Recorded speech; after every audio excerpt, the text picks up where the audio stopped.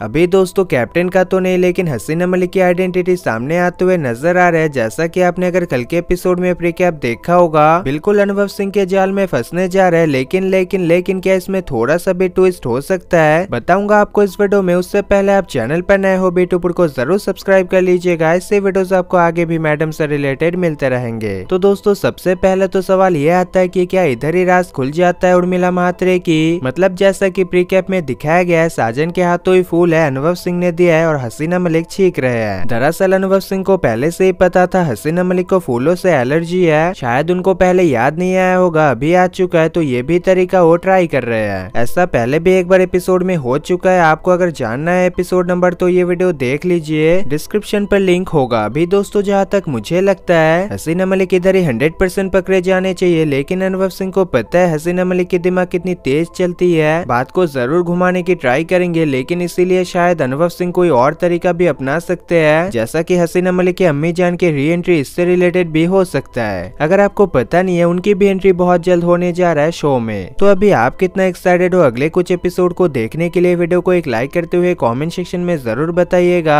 और बीटूपुर के साथ बने रहिएगा। कुछ ही देर में मिलते हैं। बाय